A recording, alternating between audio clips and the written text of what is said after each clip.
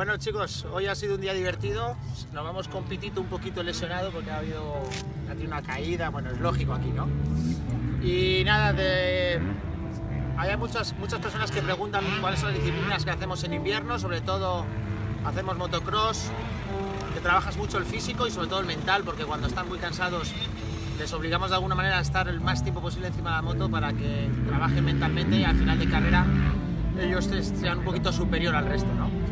El dirt track lo hacemos sin freno delantero porque eh, así eh, aprenden el feeling con el neumático delantero al buscar el límite siempre, el neumático de adelante y sobre todo las, de, las derrapadas también.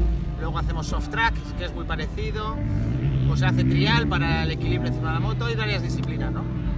Pero bueno, yo creo que el motocross es para mí la base, sobre todo porque es lo más bonito del motociclismo, para mí es cuando llega un piloto y llega un circuito y, tiene su moto, el circuito y él, no hay nadie más, no hay, no hay hospitalities, no hay managers, no hay técnicos, no hay ingenieros, y es la base, ¿no? Yo creo que es súper importante, ¿no? ¿Vosotros qué opináis? ¿De qué? Del motocross, ¿os gusta? Bueno, me gusta mucho más la carretera, porque, bueno, al final es la disciplina que hago y y es lo que más me gusta y bueno, esto es un, entrenamiento ya que en invierno hace mucho frío para estar entrenando con la Supermotor y al final te diviertes que es lo importante. ¿Tú, Piti?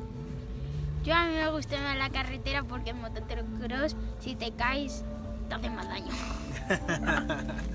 lo que tenemos que intentar sobre todo es no quedarnos y bueno, hacer el máximo de kilómetros encima de la moto Ahora, por ejemplo, en Navidades hemos hecho mucho trabajo, la verdad es que Dios se porta muy bien, hacemos normalmente 5, incluso 6 días a la semana, dejamos un día de descanso solamente, hacemos unas 3 horas de físico, de cardio, y luego hacemos 3 días de motocross o de dirt track, y la verdad, o de supermotor, y la verdad es que se han portado muy bien.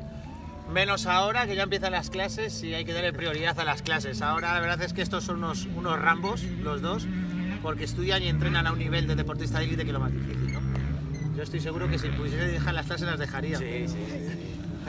No, pero es un poco complicado en el aspecto porque si tú te levantas un domingo por la mañana a las 8, pues luego llega el lunes y también te tienes que levantar y hay algunas personas que no entienden esto en el aspecto de que tú no te levantas un domingo a las 12 y te levantas a las 8 para ir a hacer lo que más te gusta. Tiene el doble de mérito, ¿no? el doble, porque la gente se cree que estamos aquí, que sí, lo estamos divirtiendo, pero al final estamos trabajando, ¿no? Sí, sí, sí. ¿El año que viene qué haces, Piti? Este año, 2017. La Moto 3. ¿Y tú? Yo, el Mundialito Junior.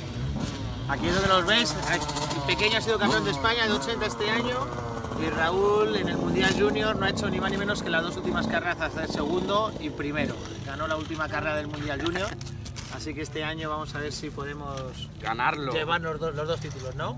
Hombre. bueno chicos, un placer. Vamos a currar. Va, va, va, va.